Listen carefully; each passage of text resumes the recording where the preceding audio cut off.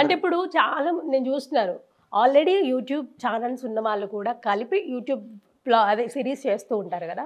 So అది ఒక ఛానల్లోనే పెడుతూ ఉంటారా? అందరి ఛానల్స్కి యూజ్ చేసుకుంటూ ఉంటారా? ఇంతకుముందు అలా చేసేవాళ్ళం కానీ ఇప్పుడు అది డిస్టర్బెన్స్ అవుతుంది. డిసప్పాయింట్ అవుతున్నారు కొంతమంది. Hmm. ఎందుకంటే నా దాంట్లో రీచ్ ఎక్కువ ఉంది అనుకో దాంట్లో రీచ్ లేకపోయింది అనుకో బాధపడతారు. Hmm. అందుకని ఇంక ఎవరు సపరేటర్ వాళ్ళకే. Hmm. ఎవరు కంటెంట్ ఉంటే వాళ్ళు తీసేసుకోవడమే. అంటే ఇప్పుడు చేసుకుంటున్నప్పుడు ఇప్పుడు మీ దాంట్లోకి వచ్చి సీతారామరాజు చేస్తారు ఇంకొకళ్ళు చేస్తారు. సో వాళ్ళకి ఏమైనా మనీ లాగా ఇస్తారా? లేకపోతే వాళ్ళకి వీడియోస్ కాల్ అయినప్పుడు మీరు వెళ్ళి యాక్ట్ చేయడం కంటెంట్. ఇవ్వడం అట్లా చేస్తూ ఉంటారు? అంటే ఒకరికొకరు మనీ పరంగా మేము ఎప్పుడు ఆలోచించాం. మనీ గురించి ఆలోచించాం. అది సపోర్ట్ ఒకరికొకరు కంటెంట్ మీరు ఒకళ్ళు ఒకళ్ళు స్క్రీన్ షేర్ చేంజ్ చేసుకుంటారు. ఓకే మెయిన్ సో అట్లా వెళ్ళిపోతూ ఉంటారు అట్లా మా దాంట్లో మనీ గురించి ఆలోచించే వాళ్ళు ఎవరూ లేరు. మాకు కావాల్సిన మనీ కాదు మేము తీసుకెళ్ళే మెసేజ్ పది మందికి ఉపయోగపడాలి. అనే ఒక ఆలోచన మీద. ఇక్కడ మాతో మా టీంలో చేసే వాళ్ళు ఎవరు కూడా కోటేశ్వర్లు కాదు ఎవరు ఏ రోజుకి ఆ రోజు తెచ్చుకోవడమే. నైట్ డ్యూటీలు చేసే వాళ్ళు ఉన్నారు. అందరూ అందరూ పనులకు వెళ్ళే వాళ్ళు కష్టపడే వాళ్ళు అందరూ ఉన్నారు కష్టపడితే ఈ యూట్యూబ్ వీడియోస్ అలా చేస్తూ ఉన్నారు. అసలు మీరందరూ కలిపి ఏం చేయాలనుకుంటూ ఉన్నారు? మీరందరూ కూర్చొని ఎప్పుడన్నా మీటింగ్ పెట్టినప్పుడు అట్లా ఇలాంటి చేద్దాం ఒక కాన్సెప్ట్ బాగుంటుంది ఇట్లా ఏమైనా డిస్కషన్స్ జరుగుతూ ఉంటాయా? మేము ఒకటే అనుకుంటున్నాము. మేము తీసుకెళ్ళే కంటెంట్ జనాలందరికీ నచ్చాలి. ఉమ్. ఈ రోజు మనం ఫేమ్ పడిపోతుందని చెప్పి వలగరక ఆన్ తిట్టడం ఈయన తిట్టడం. నాకు అలా మాకు అలా వద్దు. మాకు ఏరే వాళ్ళ ట్రాఫిక్ అక్కర్లా. ఇప్పుడు ఏముంది ఇప్పుడు పల్లవి ప్రశాంత్ ఉన్నాడు. తను నాలుగు మాటలు అన్నాం అనుకో ఉమ్. జనాలందరూ కొంతమంది నాకు సపోర్ట్ చేస్తారు కొంతమంది అతను సపోర్ట్ చేస్తారు. అలా మనకు వద్దు. ఆర్గ్యుమెంట్స్ అవుతాయి. అసలు వద్దు. మన దగ్గర కంటెంట్ ఉంది. మన కంటెంట్ తీసుకెళ్ళామనుకో పది మందికి నచ్చింది కదా. మన దగ్గర కంటెంట్ లేనప్పుడు కంటెంట్ లేనోడు ఏం చేస్తాడు? అరే ఆ ఆర్జీబీ. ఆడ పెద్ద వేస్ట్ నా కొడుకాడు రాంగోల్ పరమాగాడు అని తిడతారు. ఇప్పుడు నువ్వు ఆయన తిట్టావా? లేకపోతే అలా తిడతారని చెప్తున్నా తిడతారు అని. అన్- అంటారు కూడా. ఇప్పుడు మన దగ్గర కంటెంట్ లేనోడు ఏం చేస్తాడు తెలుసా? అరే ఆర్జీబీ గాడు పెద్ద వేస్ట్ నా కొడుకు రాడు. ఒకప్పుడు శివ లాంటి మంచి మంచి సినిమాలు తీసి ఇప్పుడేంట్రా ఇన్స్టాగ్రామ్ రీల్స్ చేసుకునే వాళ్ళలాగా వాళ్ళకంట దిగజారిపోయాడు కదా రాంగోల్ వర్మ గాడు. వాడు పెద్ద వేస్ట్ నా కొడుకు రా బాబు. వర్మ గాడు ఎప్పుడు చూస్తున్నాడు చేతిలో గ్లాస్ ఉంటుంది ఒక పక్కన అమ్మాయి ఉంటుంది. అని అలాంటి మాటలు మనకు వద్దు. ఉమ్. అలా అలా చేయడం అంటే నీ ముందు ఎవరన్నా అన్నారా ఇలాంటి మాటలు? అంటారు అంటారా. ఆడు పెద్ద వేస్ట్ గాడు రా. రాంగోల్ వర్మ గాడు పెద్ద వేస్ట్ గాడు. ఆడి దగ్గర కంటెంట్ లేదు. ఎన్నిసార్లు అన్నావు మామూలుగా అంటారని చెప్తున్నా నేను. అంటారని చెప్తున్నా. మనం అన్నట్లు మామూలుగా మీకు ఇన్స్పిరేషన్ ఎవరు చరణ్ నాకా? నాకు నాకు ఇంప్రెషన్ నేనే. నాకు ఎవరు లేరు. అంతేనా. నీకు నువ్వే ఇన్స్పైర్ అవుతూ ఉంటావు. అంతా అంతే ఒకళ్ళు నువ్వు ఫాలో అవ్వను. నేను ఫాలో అంటే చెక్ చేస్తా. అంతేనా? ఇప్పుడు కంటెంట్ రెడీ చేసుకొని అదంతా ఇంప్లిమెంట్ చేయడానికి ఎంత టైం పడుతుంది నీకు? నిన్న ముందు నేను ఒక కంటెంట్ తీసుకున్నానంటే టీంతో ముందు చెప్తా. వాళ్ళు కూడా మారుస్తారు. ఒకరికొకరు సహాయం చేసుకుంటాం. అంతేగాని నేను నచ్చినట్టే చేయాలి. నేను రాంగోల్ వర్మన్ కాదు. ఏ నేను చెప్పినట్టు నువ్వు బట్టలు ఎప్పాలి. నేను చెప్పినట్టు అది చేయాలని వాళ్ళలాగా నేను చేయను. ఆయనలాగా. సారీ. అలాగా. సో అట్లా ఉంటది సో ఒక టీం ఒక అందరూ. నిర్ణయించుకుంటాం ఇప్పుడు ఒక- ప్రాజెక్ట్ తీసుకెళ్తున్నాం అనుకో ఇది జనాలకి నచ్చిద్దా. జనాలు నిజంగా ఆదరిస్తారా అందరూ మనకు కావాలి. అంతేగాని ఇప్పుడు అధికారంలో ఉన్నామని చెప్పి ఇప్పుడు నేను అధికారంలో ఉన్నానని చెప్పి అవతల ఇప్పుడు పవన్ కళ్యాణ్ని ఆ, అటు చంద్రబాబుని టార్గెట్ చేస్తే ఆ, ఈ ఒక్కరికి అధికారం ఎన్ని రోజులు తెలియదు ఈ కుర్చీ ఉందా. ఈ కుర్చీ ఎన్ని రోజులు మనకి ఎంత ఉంటుందో తెలియదు ప్లేస్ వెళ్ళిపోతే మన దగ్గర రాదు ఇది. ఓన్లీ ఉండేది ఈ కాళ్ళే ఉంటాయి మనతో ఎప్పుడు కూడా.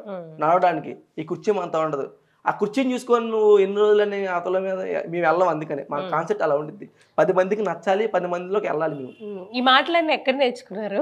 ఎక్కడ ఫ్లోలో వచ్చేస్తాయి నేర్చుకోవడం ఏమన్నా స్కిట్ మనం ఏమో స్కిట్ అక్కర్లేదు మనకి.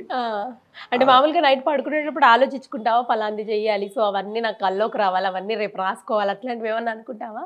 అలా ఏమి ఉండదండి. మనం ఏం ఆలోచించాం. బంగాళదుంప పటోట అన్ని మనం ఆలోచించాం. ఉల్లిపాయ. అయ్యే ఆలోచించాం. ఫేవరెట్ ఫుడ్ ఏంటి చరణ్ నాకా. పప్పు. పప్పు ఇష్టం. నాన్ వెజ్ తినవా? నాన్ వెజ్ అంటే ఎక్కువ తిన్నాం. అంతేనా? Pure veg.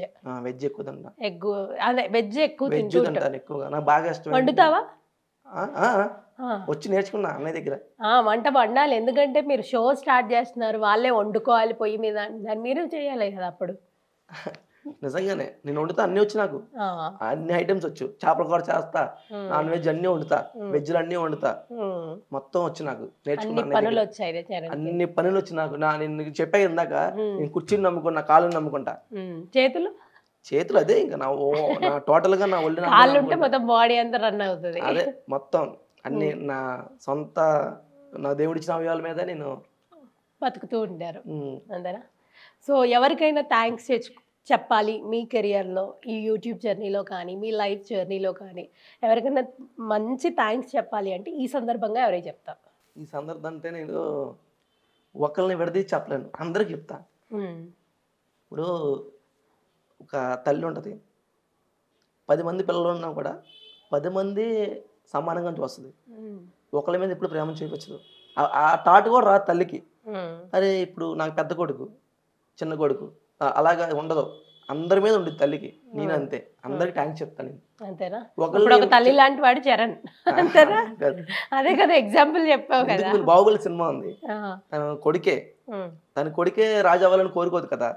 ఇద్దరు సమానం అనుకుని వాళ్ళ ఉన్న ఎవరైతే వాళ్ళిద్దరిలో పట్టుండిద్దో వాళ్ళనే రాచేస్తా అనుకుంటది. ఆమె అనుకున్న డిసిషన్ నాది అంతే. సేమ్ అంతే శివగామి. శివగామి. శివ అని. సో ఎన్ని ఎన్ని సినిమాలు చూస్తూ ఉంటావు? రోజుకి ఏమన్నా సినిమాలు చూస్తూ ఉంటావా? ఎక్కువ సినిమాలు చూడటం ఇష్టమా? సినిమాలు అంటే నేను పవన్ కళ్యాణ్ అందరి హీరోలు చూస్తా. అందరి హీరోలు చూస్తాను. ఒక సినిమా చూసి వచ్చి కూడా బయట అంతగా నేను మాట్లాడను. ఎందుకంటే వాళ్ళు చాలా కష్టపడి తెస్తారు ఆ సినిమా. ఎందుకంటే ఇప్పుడు మేము చేస్తున్నాం సినిమా. కాల్గమనం అని చెప్పి నూజివీడులో షూటింగ్ జరుగుతుంది. అయితే ఆ బాధపడే బాధ మనకు తెలుసు. ఎందుకంటే టయానికి కూడా తిరుగుతుండ్రు. నిజంగా ఆర్టిస్టులు ఎందుకంటే ఆ టేక్ వచ్చేంత వరకు అది ఎండైనా వర్షమైనా ఎక్కడైనా చేయాల్సిందే.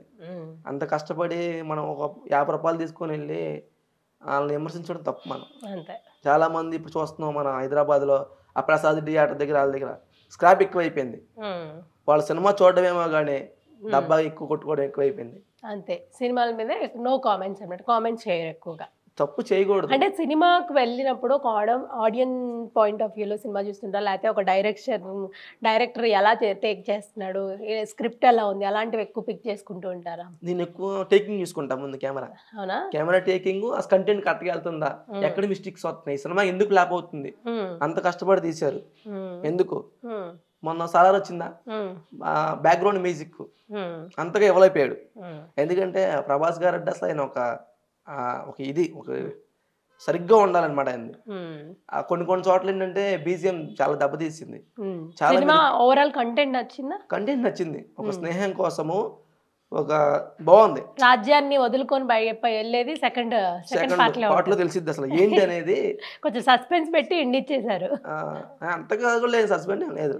సస్పెన్స్ ఎందుకు లేదు? ఆయన ఎందుకు వెళ్ళిపోయారు? ఆయన చేయరు. ఆయనకు కావాల్సిన చేయరు. శౌర్యాంగులు. స్నేహం కోసం అనుకున్నాను ముందు మరి ఆ టైంలో ఫ్రెండ్షిప్ కదా ఫ్రెండ్షిప్ కోసం ఏదైనా వదులుకుంటారు. మెయిన్. బాగా ఇద్దరు బెస్ట్ ఫ్రెండ్స్ కదా. తన చేతిలో కడియాలు చేస్తాడు కదా. అంతేగా. అందుకు అక్కడ ఫిదా అయిపోయారు. అంతే కదా అలాంటి ప్రాణ స్నేహితుడు మీకు ఎవరైనా ఉన్నారా? బాగా స్నేహం అందరూ ఆ, ప్రాణ స్నేహితుడు అలాంటి ప్రాణ స్నేహితుడు. అందుకు నేను స్నేహితు చిన్నప్పుడు కాడి నుంచి అంటే ఉన్నాడు సాయి అని చెప్పి ఉన్నాడు నా ఫ్రెండ్ అవునా? నా మీద చిన్నవాడు తమ్ముడు తన కోసం అంటారు. ఏమేం చేస్తావా? నేను ఏమేం చేస్తా? కానీ ఇద్దరం దూరంగా ఉంటాము. కానీ నాకు నేను స్నేహితుడు. అంతే. ఇప్పుడు మళ్ళీ యూట్యూబ్ వచ్చిన కాంచి నా నా స్నేహ బాగా. పేన స్నేహితులు ఎవరంటే విజయ అన్న సీతారామరాజు మన చిన్నవాడు ఉన్నాడు. కెమెరా తాను. ఓకే, వీళ్ళ కోసం నిజంగా ఇచ్చేస్తా ప్రాణం. ఓకే. అంత ఇష్టం వీళ్ళంటే నాకు. ఎందుకంటే నాకు ఏం లేనప్పుడు నాకు సపోర్ట్ చేశారు. ఒక బ్యాక్ బోన్గా ఉన్నారు. ఇప్పుడు మన దగ్గర అన్నీ ఉన్నాయని చెప్పి ఎప్పుడు మనం అవాయిడ్ చేయలేం కదా. అంతే. ఇప్పుడు బాగానే వస్తున్నాయా? యూట్యూబ్ ఛానల్ నుంచి రెవెన్యూ బాగా. వస్తుందా?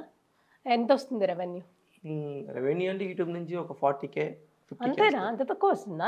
యాడ్ల నుంచి వస్తాయి కానీ మనకి. Okay okay. ఓవరాల్గా వన్ వన్ అంటే షార్ట్స్ ఎక్కువ వెళ్తున్నాయి కానీ బ్లాగ్స్ ఎక్కువ వెళ్ళట్లేదేమో కదా? పెద్ద వీడియోలు వెళ్తున్నాయి. వన్ మిలియన్ వెళ్తున్నాయి. నేను? పెట్టట్లేదు. ఆహా ఓకే వాటి మీద ఎక్కువగా నేను దృష్టి పెట్టట్లేదు. మెయిన్ షార్ట్స్ ఏం రావు. మీ వారం నెలకి పదిహేను వీడియోలు పెట్టేది. దానివల్ల తక్కువ వస్తుంది పదిహేను వీడియోలు మేము పెట్టేది రోజు రోజు పెడతాము. పదిహేను వీడియోలు పెట్టేది మేము లెక్క అయితే. ఆ పదిహేను వీడియోలకి నలభై వేలు వస్తుంది. ముప్పై వీడియోలు పెడితే ఎనభై వస్తుంది కదా. వస్తాయి. మరి ఎందుకు పెట్టట్లేదు? జనాలకి మరి మనం అంటే అంత బోరు కొట్టేయకూడదు కదా. అంటే బోర్ కొట్టిద్దారా? బట్ జనాలు వెయిట్ చేస్తున్నారు కదా. తొందర తొందరగా పెట్టండి పార్ట్స్. తొందరగా పెట్టండి అని అడుగుతున్నారు. కదా. అసలు ఒక టీముని మెయింటైన్ చేయాలంటే ఎంత కష్టమో. ఒక్కొక్కరు ఒక రోజు ఖాళీ ఉండదు. డబ్బింగ్ తీసుకోవాలి. చాలా కష్టం అది అనుకుంటాం కానీ రోజు కూడా పెట్టేయాలంటే కాన్సెప్ట్లు కూడా దొరకాలి కదా. అందరు తీసి మనం తీయం. మనది ఒక సపరేటర్గా ఉండాలి. ఓకే. మనకంటూ ఒక ప్యాన్ పేజ్ లాగా ఒకటి ఉండాలి. అంతేనా? సో ఫైనల్గా ఆడియన్స్కి ఏం చెప్తావు? నీ కొత్త షో స్టార్ట్ అవబోతుంది దాని గురించి ఏమైనా చెప్పాలనుకుంటే చెప్పు. నా షోకి మీ అందరూ సపోర్ట్ కావాలి. ఆ. షో అంటే అందరికీ పనికి రావాలి. పనికిమాల షో అయితే కాదు. పనికిమాల షో అయితే మీ చెప్పు తీసుకుని నన్ను కొట్టండి. నిజంగా నేను ఎక్కడ రమ్మంటే అక్కడికి వస్తాను. బరాబర్ నుంచి ఉంటాను అది పనికిమాల షో కాదు. కానీ షో తీస్తే కూడా నాకు సపోర్టింగ్ కావాలి. మీరే నా సపోర్ట్ జనాల సపోర్టు. నాకు ఎవరు సపోర్ట్ కాకుండా మీరు చూడాలి ముందు. చూసి వీళ్ళు మంచి షో తీశారు. ఇదే షోని కూడా పాన్ ఇండియా మొత్తం కూడా తీయాలి. అన్ని లాంగ్వేజెస్లో తీయాలంటారు లాంగ్వేజ్. అందరూ తీయాలి. రైతు పడే కష్టం తీయాలి. ఆ రైతు అసలు ఏంటి? అది కూడా కౌలు రైతు. పడే కష్టం. తను తిను తినకుండా ఏ రకంగా. బాధలు పడతారో అవన్నీ చూపిద్దామని చెప్పి నేను. Okay. Hit TV presents like share comment TV వాళ్ళకు కూడా నేను ఒక సర్ప్రైజ్ ఇద్దాం అనుకుంటున్నాను. మీరు మాత్రమే జెస్సీ ఎందుకు అయ్యారు? ఇలాంటి అమ్మాయిలకి పిలవడానికి బాగుంటుంది. చందు సాయికి like you and have a జనాలకి ఒక పేరు నచ్చిందంటే దీనికి ఒక ప్రాసెస్ ఉంటుంది. ఎందుకు ప్రాసెస్ డైరెక్ట్కి వెళ్ళిపోదాం. ఏదైనా ఒకటి మర్చిపోయినావా నువ్వు? ఏం మర్చిపోయావు